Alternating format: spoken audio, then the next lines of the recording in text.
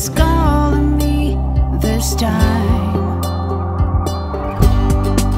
Something new, so far.